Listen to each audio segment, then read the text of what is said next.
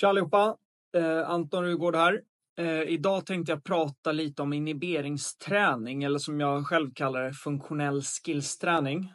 Eh, men innan vi startar så tänkte jag faktiskt att vi går igenom lite snabbt vad inhiberingsträning är och vad det faktiskt gör med våra hockeyspelare. Inhiberingsträning handlar om att man tränar upp förmågan att kontrollera impulser och handlingar efter att man har reagerat kognitivt på en förändring i omgivningen. Vilket innebär att inte agera omedelbart utan snarare tänka efter och ibland välja att faktiskt inte agera alls.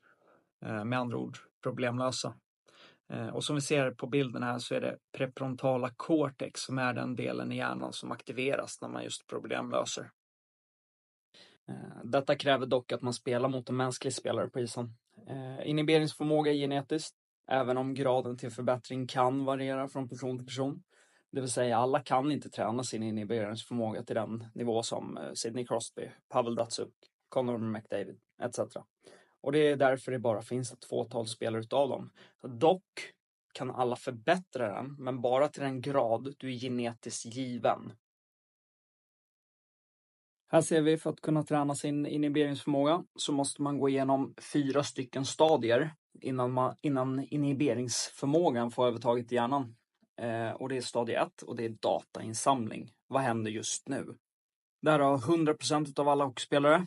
Vissa individer kan ha nedsatt uppfattningsförmåga, men då beror det oftast på en funktionsnedsättning. Eh, sen har vi stadie 2 och det är dataprocessering. Eh, vad är den bästa lösningen? Eh, sen har vi stadie 3 och det är beslut.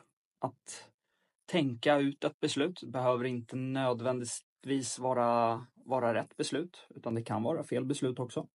Och sen har vi stadie 4, exekvering. Eh, och det är att man har ju skickat eh, beslutet som, som man tog i stadie 3 till rörelseapparaten och man gör då ett utförande, eh, ett fysiskt utförande på isen. Men ibland blir det inte riktigt som man har tänkt sig. Eh, utan man stöter på problem man har kanske tänkt att man ska åka ut med pucken längst sargen. Men rätt vad det är så står en spelare där. Eh, och man måste snabbt ta ett nytt beslut. Och då går man in i stadie 5, inhibering. Eh, förmågan att avbryta en redan tänkt lösning och snabbt välja en ny. Och det är här som hockeyspelare skiljer sig markant och det är även här tränare oftast är de skyldiga till att denna stora skillnad bland spelare faktiskt existerar. Så vad gör man då, då som tränare för att få spelarna att bli bättre problemlösare på isen? Det tänkte jag förklara nu. Och det är nummer ett, att man sätter spelaren i en matchlik övning eh, där spelaren måste ta rätt beslut under press utav antingen en, två eller tre motståndare. Eh, nummer två är att man alltid ger minst två alternativ till spelaren. Eh, det kan vara i övningen att eh, göra en frånvändning eller en fint eller åka ut med pucken eh, på höger sida eller vänster sida. Så fort man har gett ett alternativ till spelaren, då har man låst spelaren. Eh, och nummer tre är att man inte ger några direktiv under pågående situation. Det vill säga ropa inte till spelaren att ja, men passa dit nu, han är ju fri där. Då har man liksom förstört hela den här problemlösningsmöjligheten för, för spelaren. Eh, så som tränare så ska du absolut inte säga någonting som kan påverka spelarens beslut under pågående situation. Så nu tänkte jag visa er en övning eh, som eh, tränar just inhiberingsförmågan om man gör det på rätt sätt som tränare. Eh, och jag tänkte att vi går igenom de olika stadierna så att ni eh, verkligen förstår vad jag menar. I den här övningen så sätts en spelare under press utav två stycken motståndare.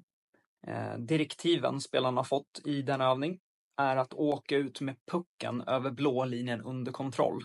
Eh, hur spelarna gör det, det är upp till dem. Eh, som vi ser så startar en motståndare på blå linjen och en motståndare i mitten utav övningen.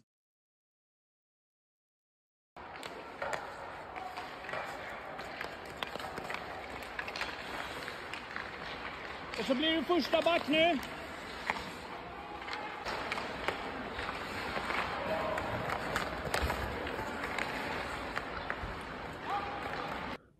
Som vi ser här nu då eh, på klippet så går han in i stadie 1 med hjälp av blicken, alltså datainsamling. Vad är det som händer just nu?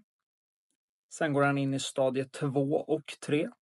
I stadie 2 så har han ju processerat informationen från stadie 1 och sen i tredje stadiet så ska han ju välja ett beslut. Sen går han in i stadie 4 och det är ju som sagt att utföra beslutet som han tog i stadie 3. Men nu var det ju faktiskt fel beslut, för nu ser vi att han avbryter det han tänkte. För han ser motståndarens klubba komma fram där när han tänkte gå på högersidan. Och så går han istället på vänstersidan, alltså han går in i stadie 5 och problemlöser för han avbryter det han tänkte göra. Och så ser vi samma sak här. Han går in i stadie 1, 2, 3, 4 och 5.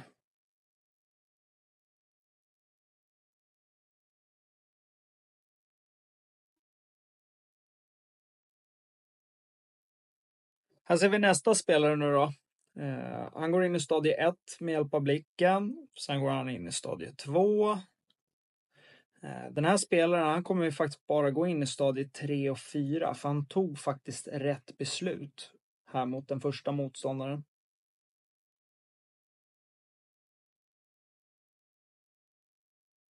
Men så ser vi här nu då hur han går in i stadie 1, 2, 3, 4. Och nu tog han faktiskt fel beslut i stadie 3, vilket var att gå på högersidan och då måste han avbryta och välja en ny lösning, alltså gå in i stadie 5. Och för er som inte vet så på toppnivå så agerar spelare alla dessa beslut på 200 millisekunder, så det går väldigt fort.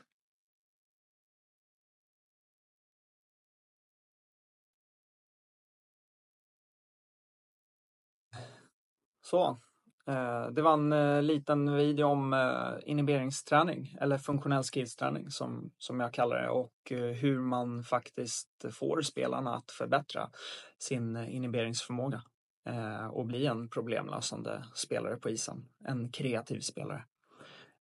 Hoppas ni gillade klippet så ses vi i nästa.